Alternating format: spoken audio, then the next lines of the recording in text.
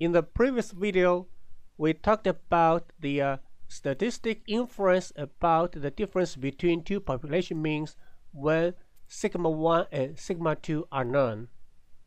As you can imagine here, we're going to deal with a situation in which two population standard deviations are unknown. Let's look at interval estimation of the difference between two population means first. Well, the point estimate is x1 bar minus x2 bar and the margin of error is given by the critical t-value times standard error.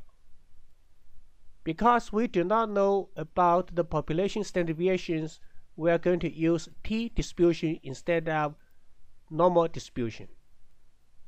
The way we calculate standard error is similar to what we did previously. It's just that we are going to replace sigma, the population standard deviation, with S, sample standard deviation. That's why you see the formula over here for calculating the interval estimation. Well, a twist when we don't know about the population standard deviation is as follows. We are going to provide degree of freedoms. And there's a formula for calculating that which looks pretty ugly but we are going to make this as a function and then we're going to leave the calculation of degree of freedom to the computer. Just keep in mind this number calculated from formula is very likely to be a decimal. On most t-distribution tables, you don't see a decimal as a degree of freedom. As a result, it's recommended that uh, we round non-integer degree of freedom down to provide a larger t-value and a more conservative interval estimate. And alpha is our old friend significance level and 1 minus alpha is nothing but our confidence level. Next, let's take a look at the hypothesis testing. Once again, there are three forms of hypothesis test about the difference between two population means. Lower tailed test, upper tailed test, and two tailed test. And once again, D0 is the hypothesized difference between two population means. In most cases, D0 is 0.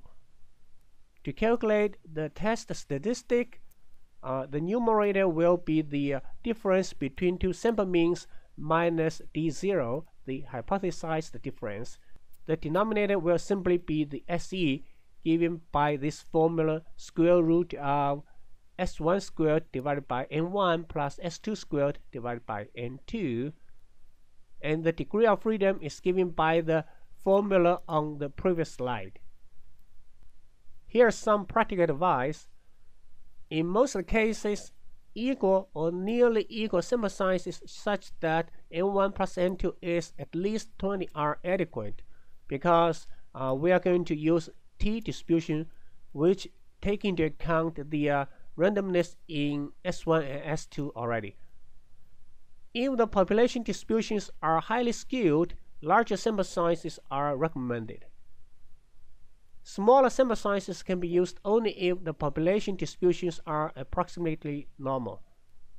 In most scenarios, we're going to have sufficiently large sample sizes. Uh, this becomes pretty much a moot point. Next, let's take a look at one example.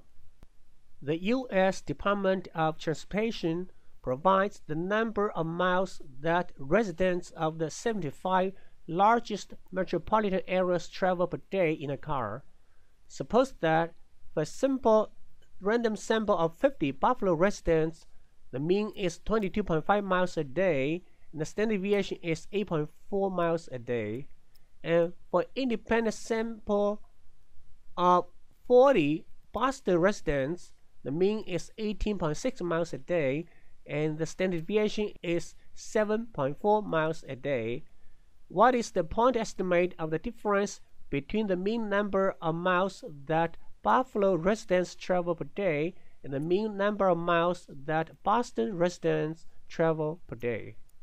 What is the 95% confidence interval for the difference between the two population means? Once again, we're going to switch to our IPython notebook.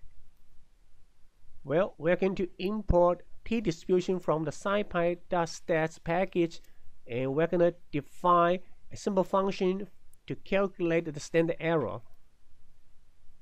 And next, I'm going to define a function to calculate the degree of freedom, the long ugly formula we see on the slide. Here's the function I'm going to call when we need to calculate the degree of freedom. Next, I'm going to collect information from the problem statement. x1 is simply x bar which is equal to 22.5 miles per day for Buffalo residents.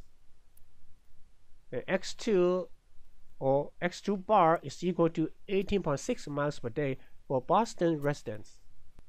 Now we are ready to do some calculation.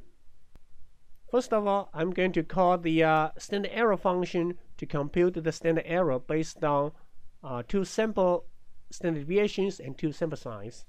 And then I'm going to call the degree of freedom function to calculate the degree of freedom. Once we have that, I'm going to compute the uh, critical t value by calling the inverse t function from SciPy. And keep in mind, uh, we need the degree of freedom over here. And once we have the critical t value, we're going to compute margin of error, and then we can find out about the uh, confidence interval. Let's take a look. The SE is about 1.67, degree of freedom is 87.14. If you are using the t-distribution table to find the t value, then it is recommended that you use 87 instead of 88. But because we are calling the uh, t-distribution from SciPy package, we can just plug in these uh, decimal numbers. The resulting t value is 1.98756 and the margin of error is 3.31. Now we're ready to find the lower bound and upper bound of the 95% confidence interval. I'm going to generate the lower bound and upper bound of this 95% confidence interval as a list. Let's take a look and give it a try. The 95% confidence interval lower bound is 0.586 miles per day and the upper bound is 7.2 miles per day.